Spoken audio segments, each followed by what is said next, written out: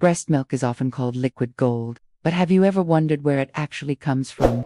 Understanding how breast milk is made can help new moms feel more confident and connected to their breastfeeding journey.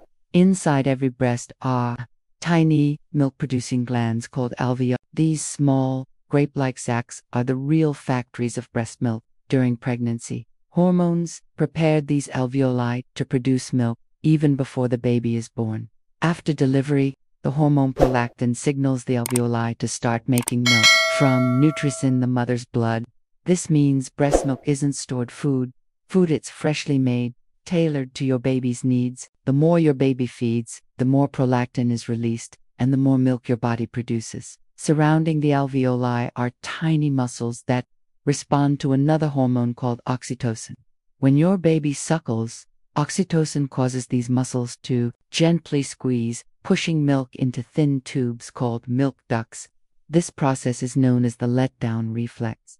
The milk ducts carry milk toward the nipple, where it is released to the baby. Stress, pain, or anxiety can slow this reflex, while relaxation, skin to skin contact, and your baby's touch can make it work smoothly. Breast milk also changes over time. The early milk, called colostrum, is thick and rich in antibodies. As days pass, it turns into mature milk that supports growth, immunity, and brain development. Breastfeeding is not just feeding, it's a beautifully designed biological process that adapts with your baby. When you understand how your body works, you can trust it more and breastfeed with confidence.